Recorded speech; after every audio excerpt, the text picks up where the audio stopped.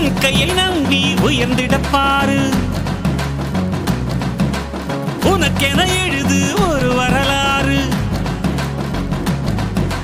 உனக்குள்ள சக்தி இருக்கு அதை புசிப்பிட வழிபாரு சுபவேளை நாளை மாலை சூடிடு.